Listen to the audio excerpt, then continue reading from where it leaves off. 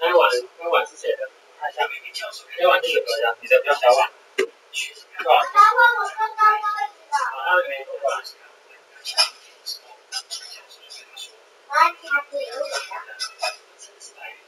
宝宝，我刚才在水里发现，我要加自由水的。宝宝，我刚才在水里发现一个菜耶，爸爸刚手手有看，羊肉饭。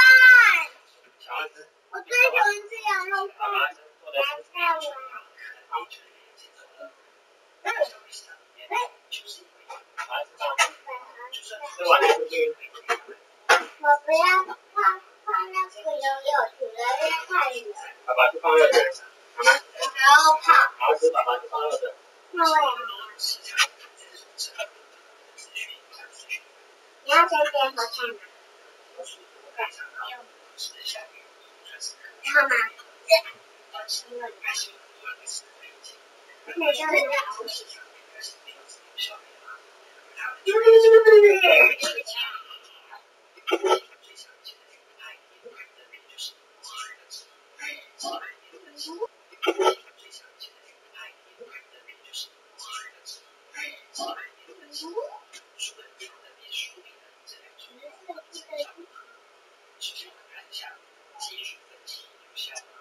爸爸还有吗？有。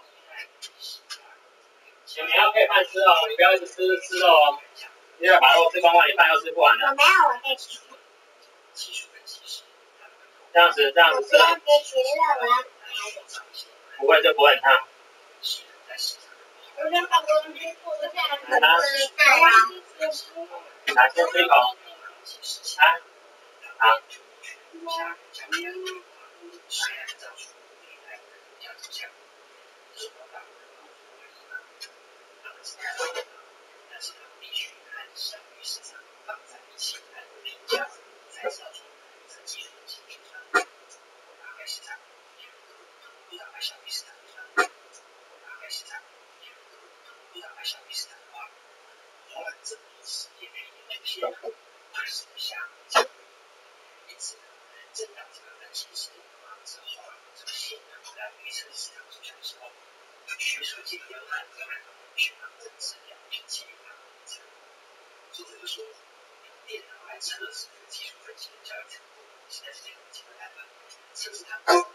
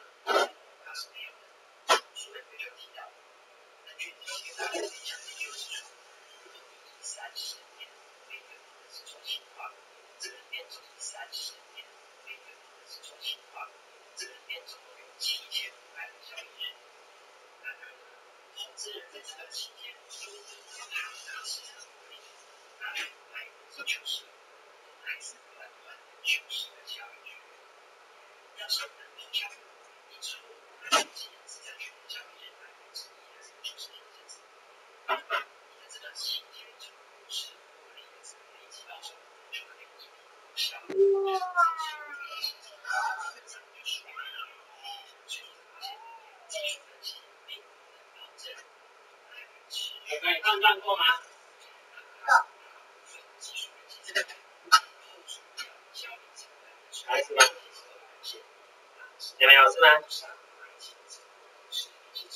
你们不好吃是吗？是啊，那是我是爸爸就说，我哥哥就我要一起拖回家的，是啊，那是我是爸爸就说，我哥哥就我要一起拖回家的味道，然后我就说，今天爸爸应该去煮荷包蛋吧。啊，这边怎么不会？昨天才吃过荷包蛋。在第二个我们谈一下基本面分析，就是去透过研究公司的财报，透过管理阶层的这是我见过最好吃的产业东西专门的分析，分析这些基本羊肉。来评估一档好的内在价值。书本里面就指我喜出了，他们比。较不会去注意过去的欢吃产业蔬菜。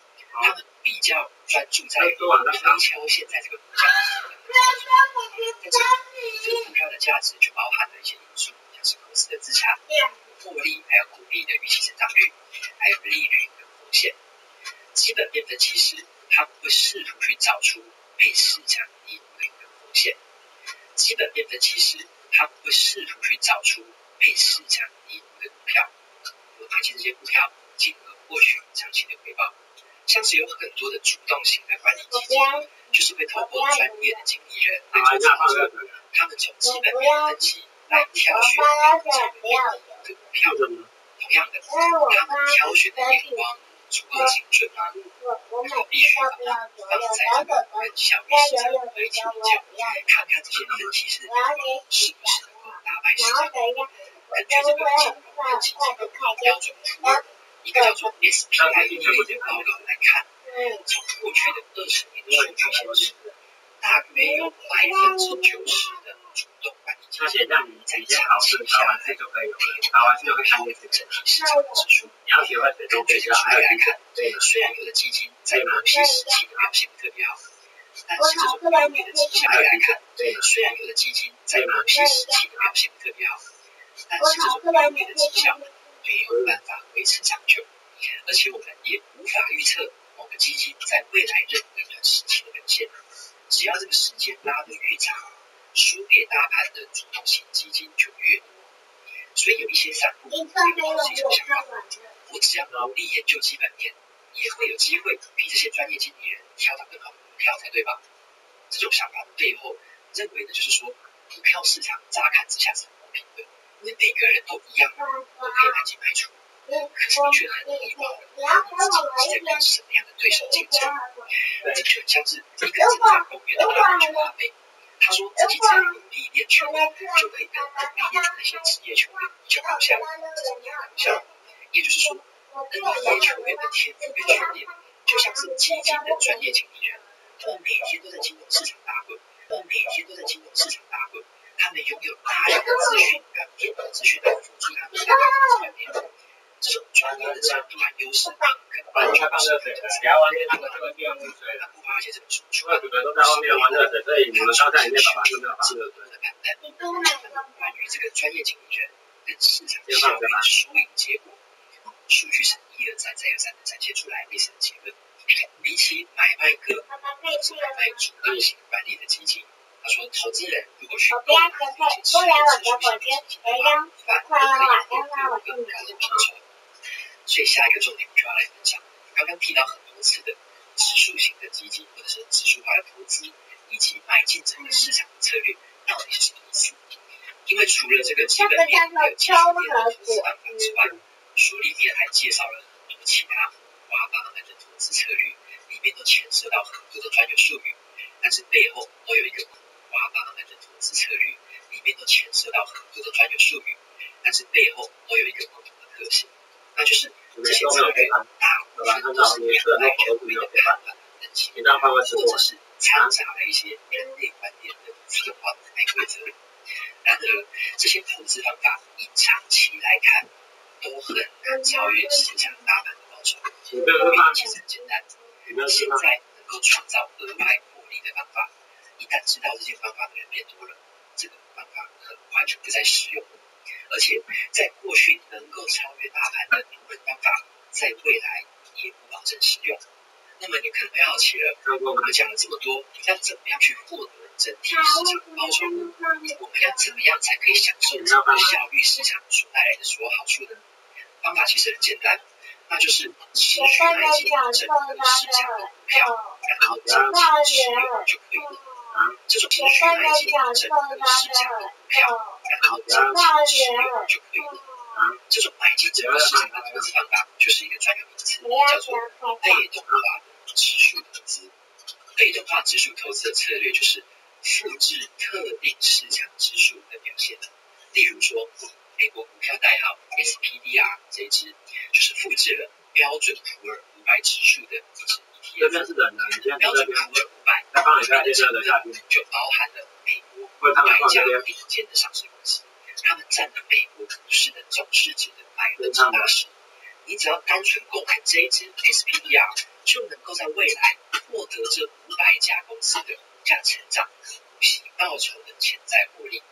台股也有类似概念的 ETF，像是台湾代号零零五零的这支，就是复制了台湾五十间市值最大公司的这个表现。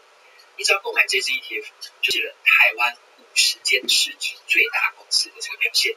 你只要购买这支 ETF，就等于是你在未来能够获得这五十家公司的股价成长还有股息报酬。有一句俗谚其实说的很道理，他说鸡蛋不要放在同一个篮子里面。把这个道理套用在股票市场里面，就是提醒我们不要单压，也不要重压某几只个股。而我们现在分享的这个被动化指数投资，就是教你一个方法，可以把所有的篮子全部都买下来。当我们购买了这个代表整个市场散了风险。我们不再依赖单一公司的表现，而是我们跟着整个市场同步的成长。这样做的时候，我们的投资风险更小，回报也更稳定。因为我们的这个鸡蛋分布在不同的篮子当中，不会因为某一个篮子的损失而遭受到重创；分布在不同的篮子当中，不会因为某一个篮子的损失而遭受到重创。我们在前面有提到的这个标准普尔的报告，其实它也说明了这个现象在每个国家的股票市场几乎都是一样的。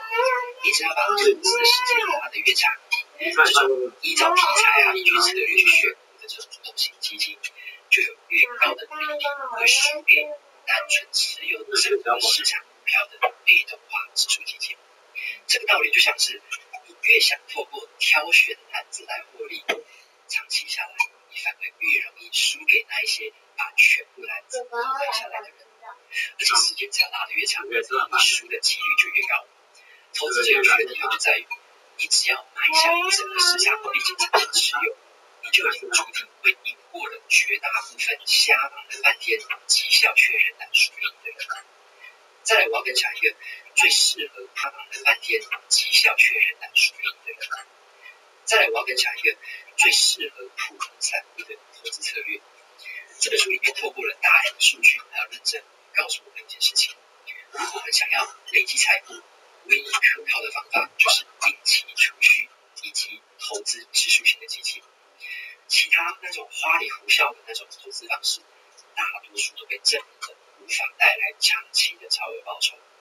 这本书也点出了一些主动型基金的高费用率会吃掉你的投资报酬，以及呢所谓的理财专员是怎么样表现出矛盾的行径，他们把自己的利益都放在客户的利益之前。你。还要吗？此外，书本里面强调了税务管理的重要性，并且提出了你。怎么样通过这种计划去让散户既能保存复利成长，又可以合法避税。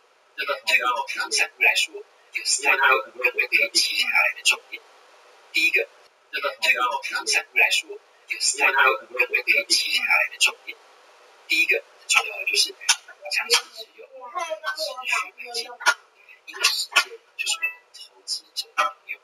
书本里面有提到，短期的投资行为虽然有可能带来快速的回报，但是风险也相对高。相反的，你透过长期持有高品质的股票或者指数基金，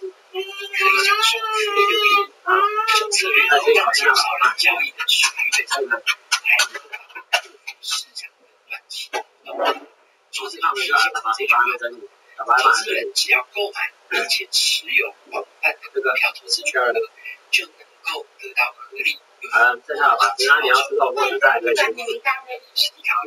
不要总是看见什么身上的水，来数支的几张头像，想要，支付的几张头像，想要跑出，不知道把它掉了。